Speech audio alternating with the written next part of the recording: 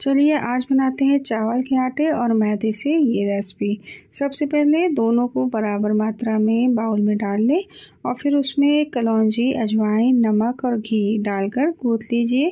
अब थोड़ा सा घी लेकर अच्छे से उसको फ्लफ़ी होने तक फेंटिए और इस तरीके से बेल कर एक एक लेयर ऊपर रखती जाइए और घी लगाती जाइए।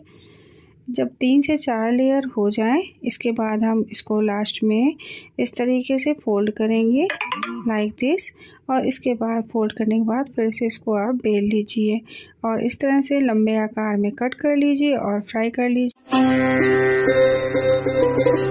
छिलके वाली दाल अगर आपको तुरंत होनी पड़े तो ये तरीका देखें। यहाँ पर मैंने दाल ली है उसको भिगो दिया था। इसके बाद जब आप दूध पकाइए तो उसके ऊपर अपना दाल का पकौड़ा रख दीजिए। और जैसे जैसे दूध पकेगा, वैसे वैसे आपकी दाल का छिलका अलग होने लगेगा। ट्राई ज़रूर करिएगा।